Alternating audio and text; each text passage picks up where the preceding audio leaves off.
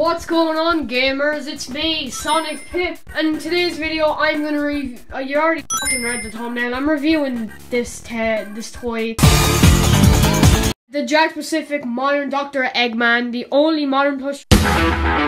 Well, actually, we have Cheese as well, but this is one of the, I guess, the main characters that has a modern plush now, and it's Dr. Eggman. This plush is, uh, it's actually pretty decent, it's alright. No, it's not bad, it's not astounding or, or anything. I'm just gonna fucking review it because it's a, it's a review. We're gonna review this man's face because it's extremely, uh, it's extremely good. The embroidery on his face is very nice, very detailed. His face, you know, it looks like he's about to like get laid or so. He has a nose, it's like a, I don't know what that is, but it's a hard nose. His teeth are like, uh, they're okay. Like have do little smiles. He's all like cheeky. He has like a felt mustache, very nice. Looks like a Christmas tree if you put it this way. He has printed on fabric.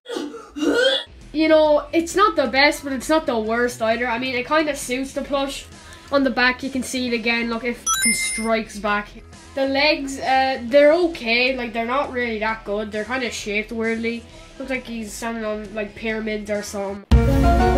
He has, like, kidney stones in his legs here for some reason. But you know, I mean, it's just the natural problems of life, I suppose. His hands, I think mine are like backwards because his thumbs like go this way. I think they're meant to be like this.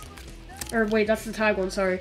I think they're meant to be like this, and you know, it kind of does work, but it just, mine goes like that so his hands are just in a weird position for me. But, uh, you know, what can you do about that? You can't really do anything, can you? Tag, it's basically the classic tag, but with modern Sonic, and it says Dr. Eggman because uh, this is a world-renowned character. His name is Knuckles. There's the Go Sega or whatever 60th Sega logo. That's on most of the new, like, merchandise that's going to be out.